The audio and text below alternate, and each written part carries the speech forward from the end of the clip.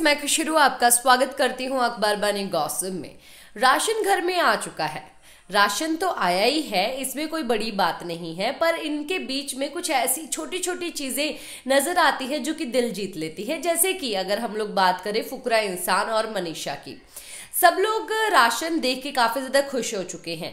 Ration का कोई task नहीं दिया गया, पर काफ़ी ज़्यादा राशन घर में आया है, जिससे सब लोग काफ़ी ज़्यादा खुश हैं। वहीं पर एलविश सारा काम कर रहे होते हैं और हमेशा बोलते हैं कि भाई मेरे को काम करना बहुत ज़्यादा पसंद है और वो बंदा भी बहुत अच्छा और आपको भी पता है। तो मनीषा सामने रहती है, एलविश के हाथों से लेती रहती है, किचन तक पहुँचाती रहती है।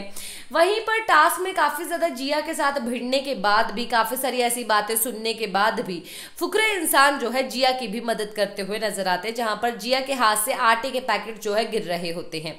अगर यही सब चीज़ें जिया लोग आ, के साथ ये एक्चुअली में टास्क में करते फुकरा इंसान मनीषा तो ये लोग इतना एटीट्यूड दिखाते बाजू में से निकल जाते चाहे उनके हाथ से पूरे आटे आटा क्यों ना गिर जाता। तो आप लोग ये बात समझ ही सकते हैं। तो बताइए आपका क्या कहना है? ये छोटी छोटी चीज़ें क्या आप लोग नोटिस करते हैं? मेरा तो दिल जीता है आपका क्या कहना है। इसी के साथ मैं लेती हूँ इजाज़त, नमस्कार।